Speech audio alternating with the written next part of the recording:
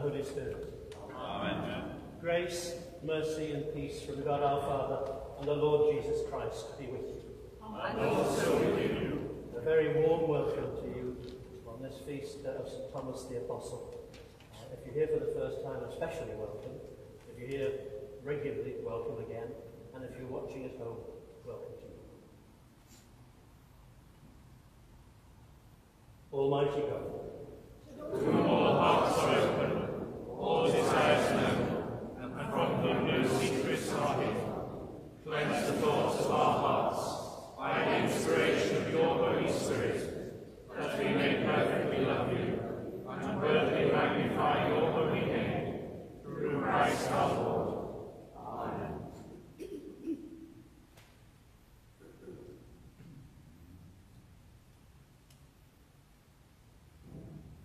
We run the race set before us, surrounded by a great cloud of witnesses.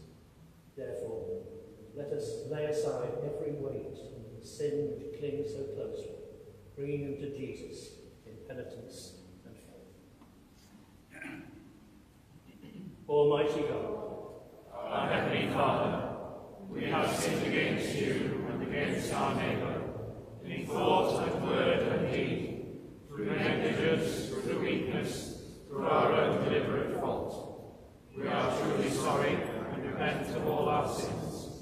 For the sake of your Son, Jesus Christ, who died for us, forgive us all that is past, and that we may serve you in newness of life, glory. your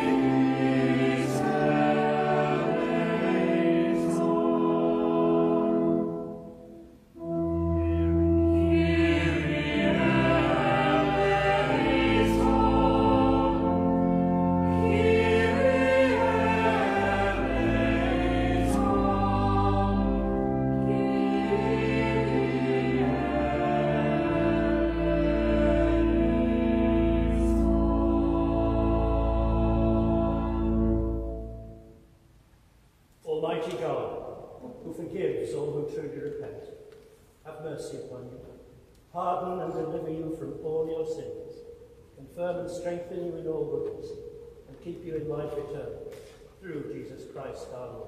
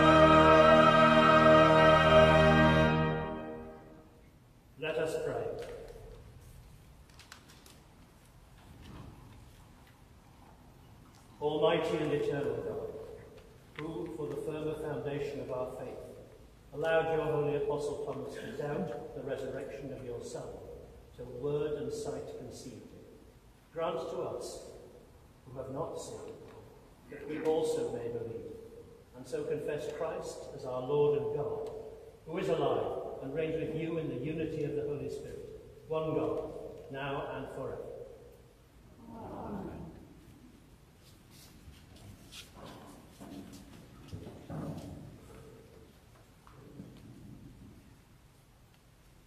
A reading from the prophet Habakkuk.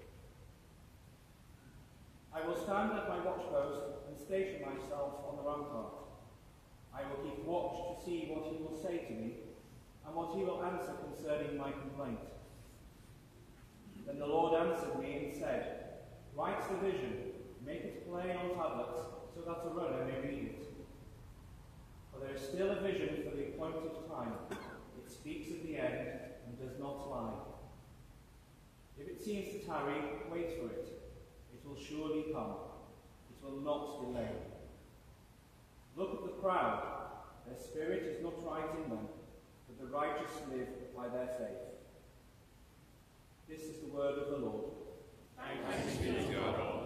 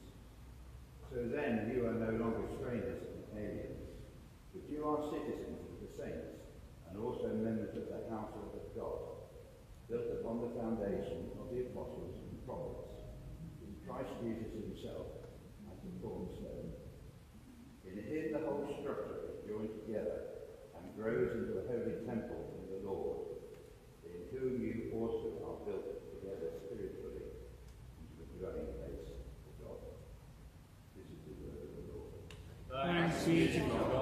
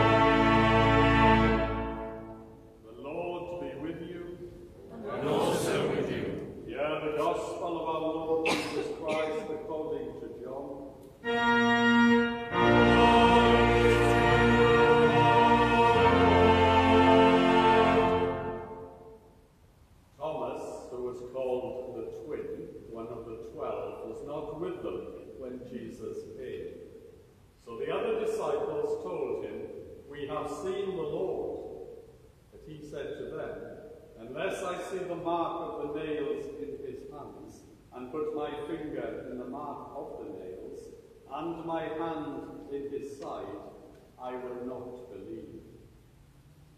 A week later, his disciples were again in the house, and Thomas was with them. Although the doors were shut, Jesus came and stood among them and said, Peace be with you. Then he said to Thomas, Put your finger here see my hands. Reach out your hand and put it in my side. Do not doubt, but believe. Thomas answered him, My Lord and my God.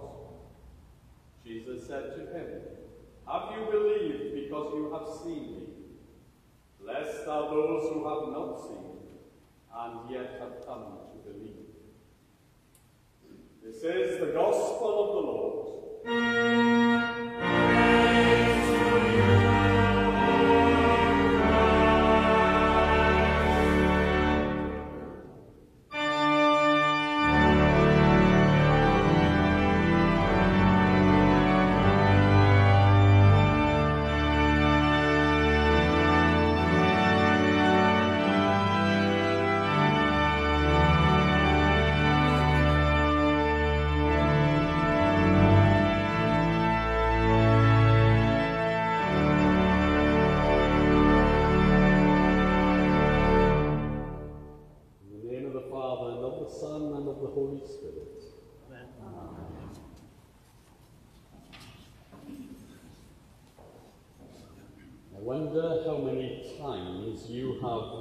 out on something extraordinary. One of those memorable moments, perhaps, when your friends have just said, Oh, you just missed it. Or, well, you should have been there. It was absolutely incredible. I still regret missing out as a student over 40 years ago on a Bob Dylan concert. That was apparently stunning, according to the friends of mine who made it. I couldn't get my act together, unfortunately, quick enough and early enough to go and join the queue for the tickets, and when I did, they'd sold out. Well, poor Thomas is the man who misses out, of course, on another extraordinary encounter with the risen Christ, because he was somewhere else, and not because he probably had a hangover, as I did in missing out with Bob Dylan. It was that point in the story, post crucifixion, with the disciples wondering what to do next. Grieving, hiding away in an upper room with none of the confidence and reignited hope that is to. And we have, I think, this wonderfully human account of Thomas, full of doubt and wanting evidence of these unbelievable claims. And there is a real sense, I think, that he just needs to catch up and understand. What Thomas does know is that their encounter with Jesus has certainly changed them. And here is Thomas today, full of incredulity, wanting to see for himself, wanting to believe. And of course, it is this refusal to accept the word of others without the evidence of his own eyes that has earned Thomas that most misleading moniker of all time, doubting Thomas. Doubting Thomas. That's how we know him. And it's lodged in that Christian imagination almost as the archetypal skeptic. But this moving episode of John's Gospel isn't only about doubt, and I would suggest not mainly about doubt, and it's certainly not about skepticism. It is also about faith. And far from being the odd man out, Thomas represents all of us who believe, both in terms of how and what it is that we believe. And the clue that this episode is thought to come at the end of what is thought sometimes to be the original end of the text of St. John's Gospel. And John has quite deliberately used it, in other words, as the climax to his Gospel. I want to take you back to Christmas and that lovely reading that we have at Christmas, which is that majestic prologue. In the beginning was the Word, and the Word was God. Well, now he brings his gospel to a close. Thomas is the first person in the gospel to address Jesus as God with his, My Lord, my God. The purpose, the whole purpose of the gospel, as John himself tells his readers, is that you might believe that Jesus is the Messiah, the Son of God. And that is seen finally to be fulfilled in Thomas. So, Thomas, in other words, isn't sort of the doubter that he has been made out to believe, but actually that true believer who we are called to imitate.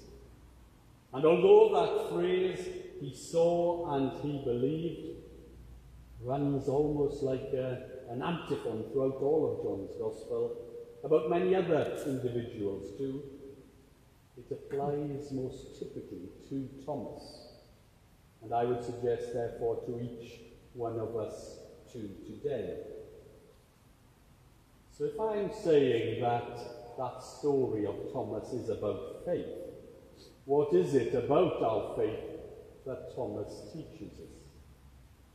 Well, first of all, it makes it resoundingly clear that as in all matters of truth or matters of understanding, intelligent questioning and searching are essential, and I would suggest not harmful to our faith and what it is that we believe. Faith isn't a crutch for the credulous or a comfort blanket only for the fearful. And on the contrary, it requires, I think, courage from us. And to have faith is to live in the presence of mystery, sometimes comforting, often challenging, but never complacent, I would suggest. And faith points us, indeed, into that direction of the ultimate mystery and to those ultimate questions about the source of our very existence itself. Who are we? What are we here for? Who is God? And of course, they are questions which remain permanently and in principle beyond our intellectual reach.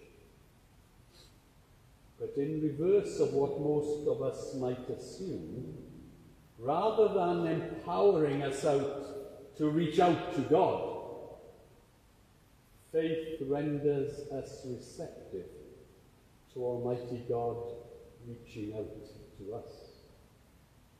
Because the source of our existence, Almighty God Himself, is a goal that we can never arrive at through our own efforts of will or our own intellect alone, but only by the will and intellect enlarged by love.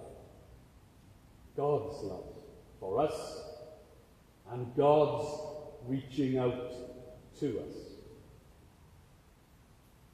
And in this particular episode today, John is also showing us that we don't believe alone or in a vacuum.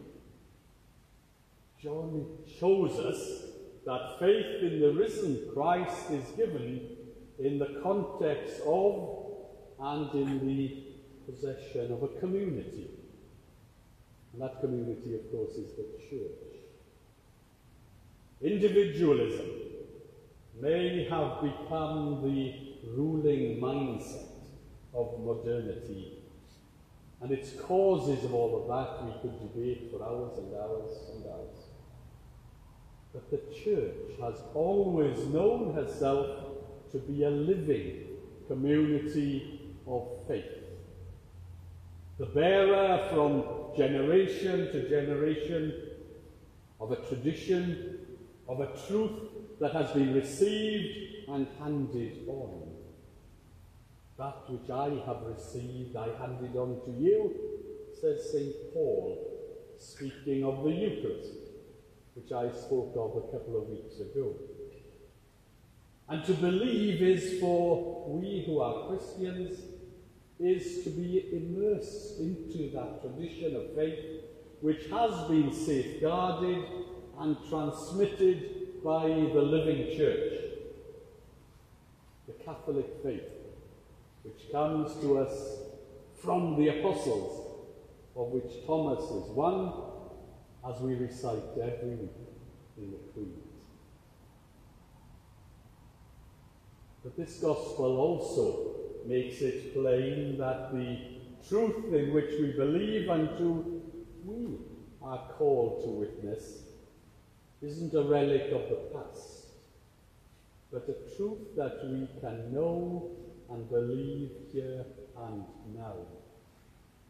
And we witness, or fail to witness, to the risen Lord whom we know here and now, not only with our words, but with our lives too.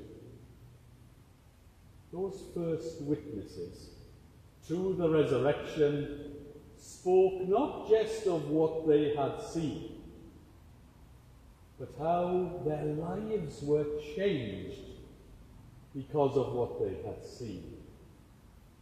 And a question for all of us may be today is do our lives testify to what we profess and believe?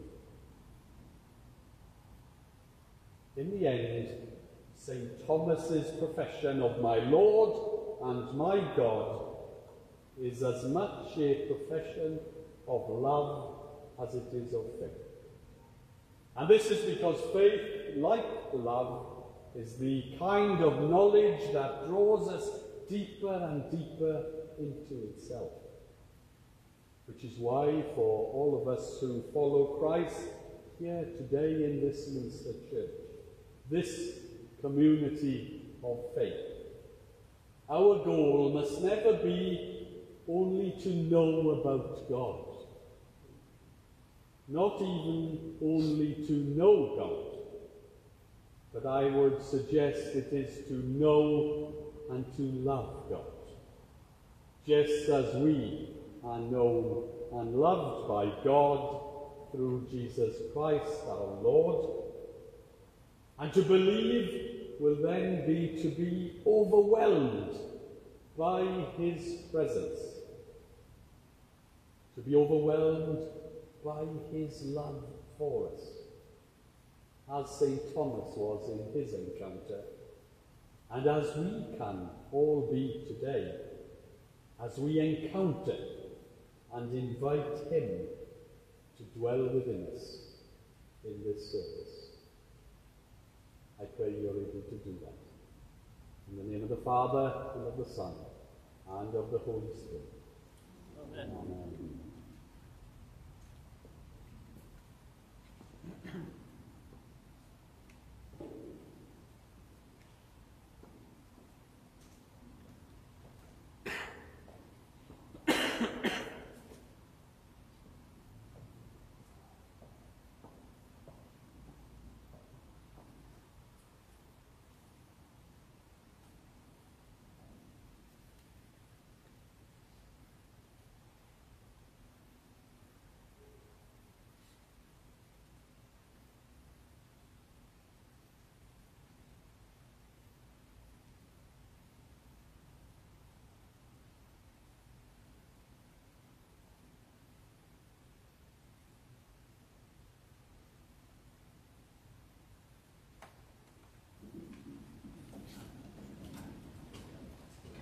Let us declare our faith in God, Father, Son, and Holy Spirit.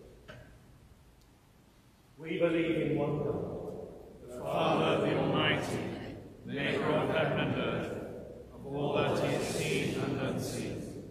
We believe in one Lord Jesus Christ, the only Son of God, eternally begotten of the Father, God from God, light from light, true God from true God, begotten not made, of one being with the Father.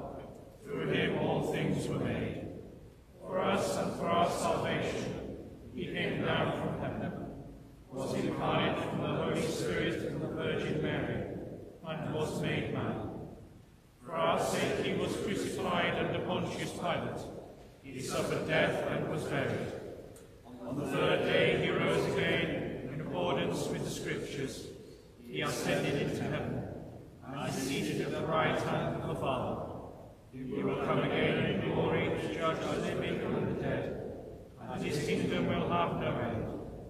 We believe in the Holy Spirit, the Lord, the giver of life, proceeds from the Father and the Son, who with the Father and the Son is worshipped and glorified, who has spoken through the prophets.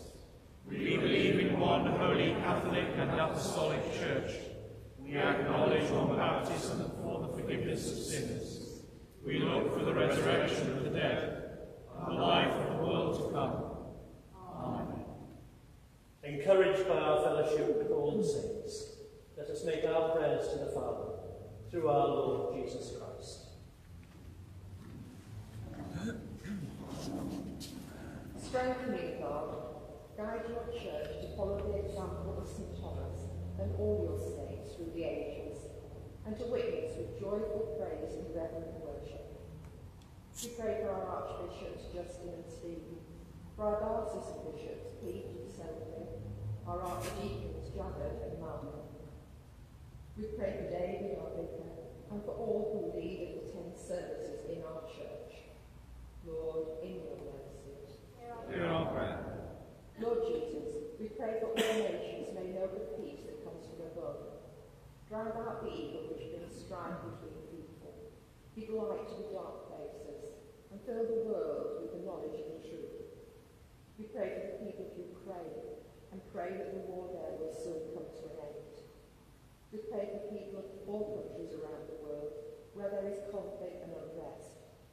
Be with them as they struggle with fear, hunger, and poverty.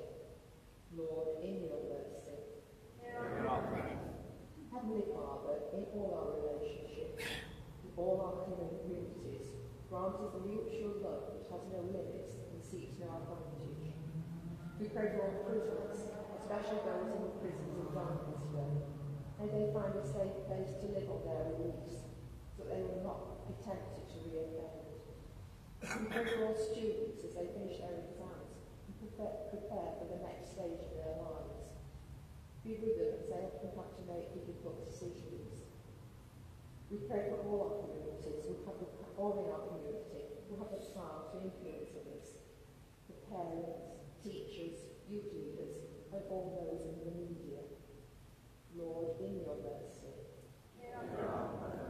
Gracious Lord, grant healing to the sick in mind and body, and skill to those who care for them. We pray especially for the staff and patients in the hospitals and care homes in Doncaster. We bring before you all who have asked for our prayers at this time.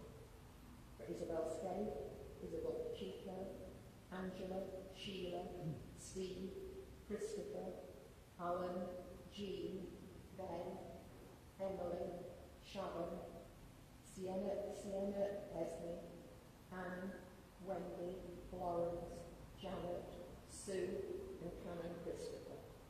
Lord, in your mercy.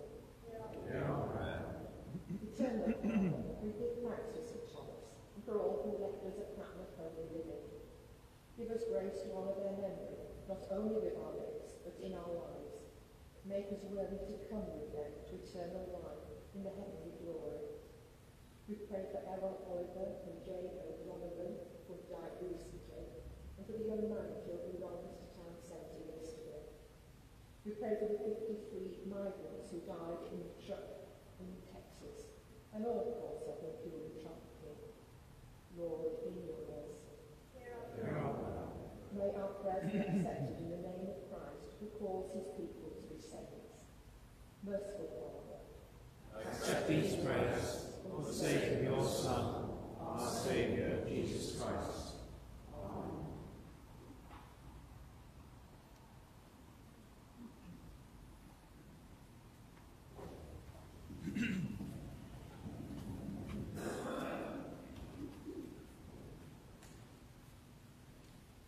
We are fellow citizens with the saints and of the household of God, through Christ our Lord, who came and preached peace to those who were far off and those who were near. The peace of the Lord.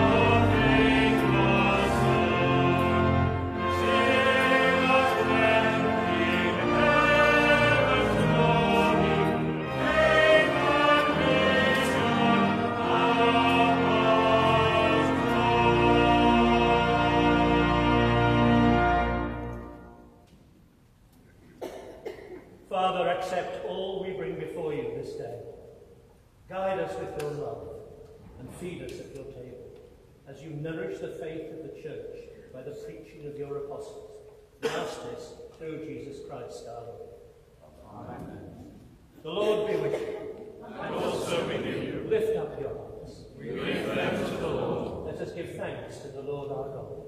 It is right to give thanks and praise. It is indeed right and good that we should give you thanks, praise, and glory, Almighty and everlasting God, through Jesus Christ, your Son, our Lord.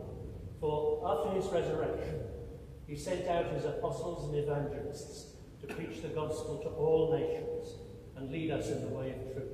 Himself, the chief cornerstone, he founded his church upon the apostles, firmly to stand forever as a sign of your holiness upon earth and a living witness to all the way that leads to heaven. So, with angels and archangels and with all the company of heaven, we lift our voices to join their unending hymn of praise.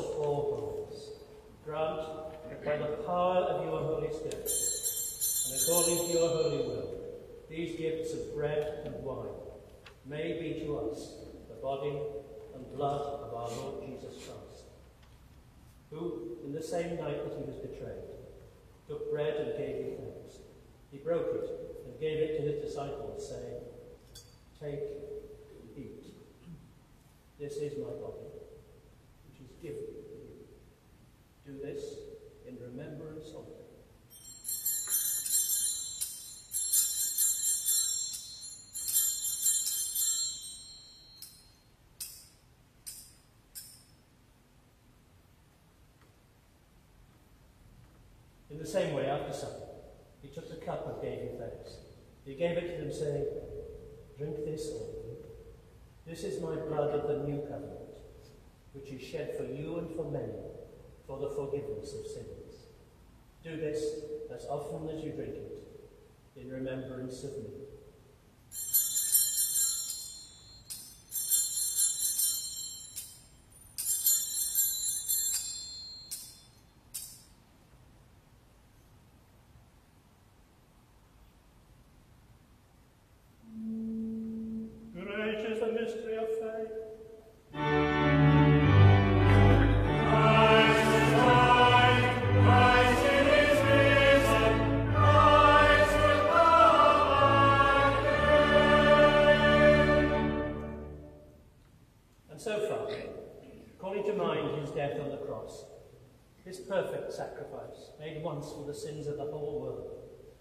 Rejoicing in his mighty resurrection and glorious ascension, and looking for his coming in glory, we celebrate this memorial of our redemption. As we offer you this, our sacrifice of praise and thanksgiving, we bring before you this bread and this cup. We thank you for counting us worthy to stand in your presence and serve.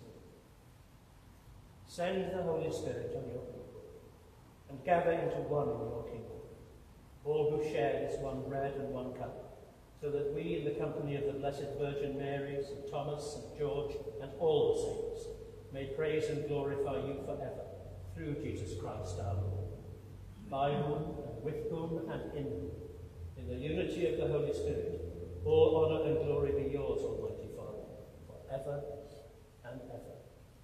Amen.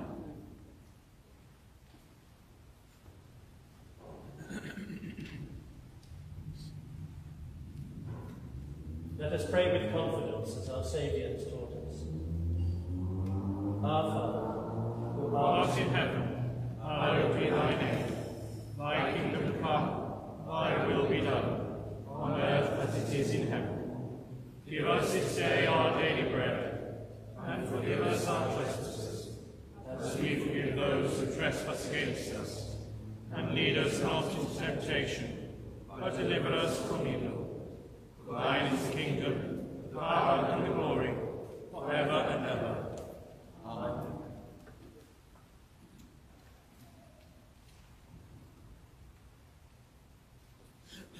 we break this bread to share in the body of Christ.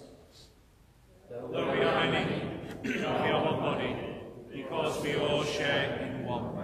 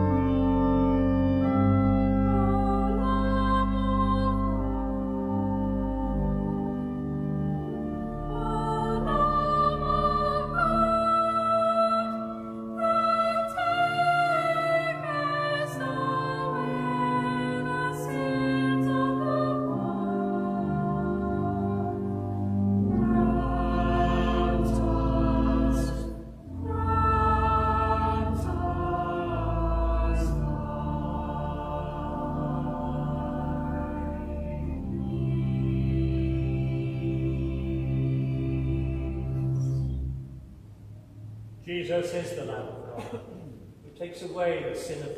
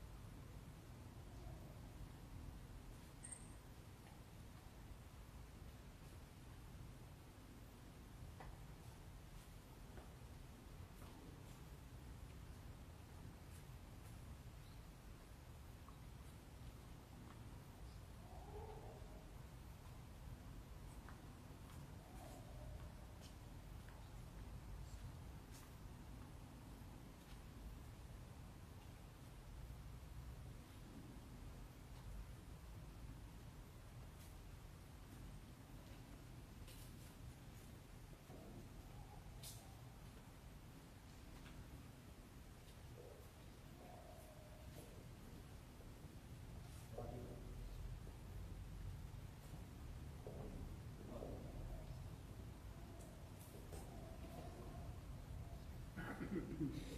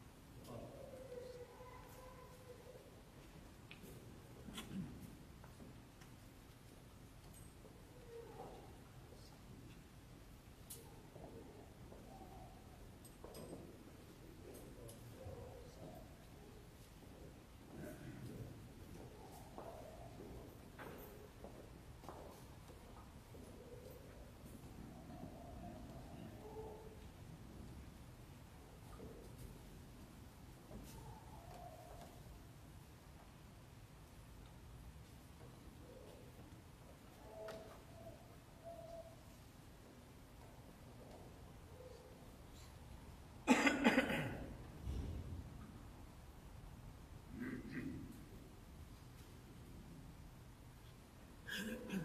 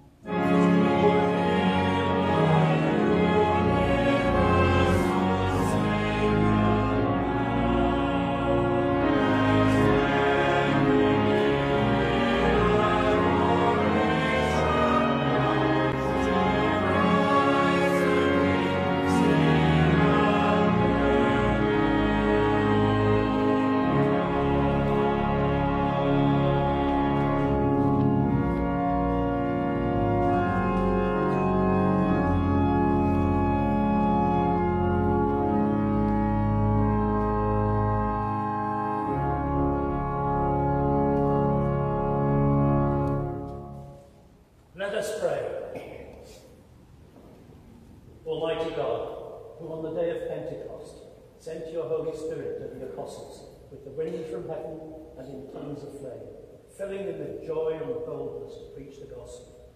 By the power of the same Spirit, strengthen us to witness to your truth and to draw everyone to the fire of your love through Jesus Christ our Lord. Amen. Almighty God, Thank you for feeding us, the body and blood of your Son, Jesus Christ. Through him we offer you our souls and bodies to be a living sacrifice. Send us out in the power of your Spirit to live and work to your praise and glory. Amen.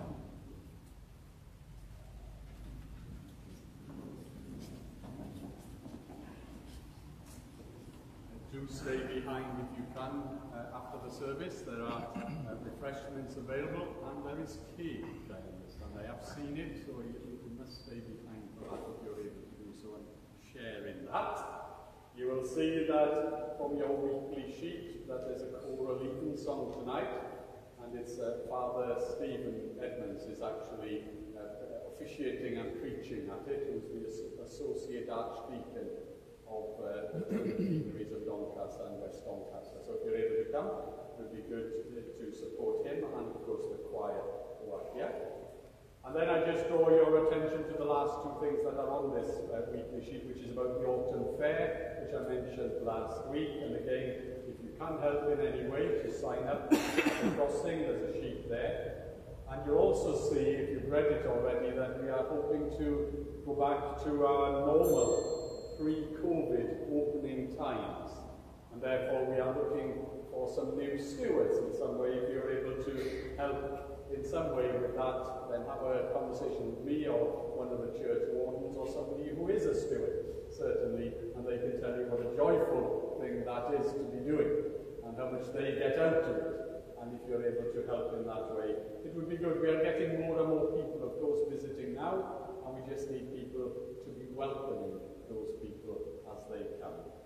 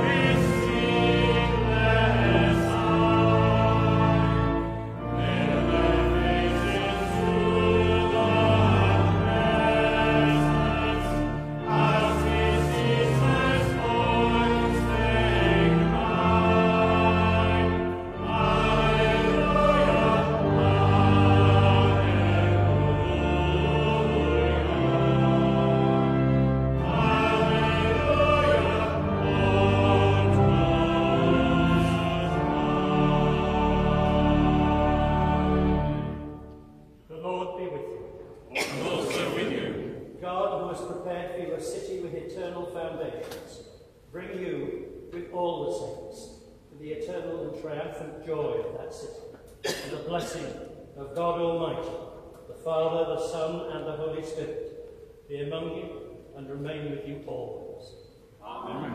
Go in the peace of Christ. Thanks be to God.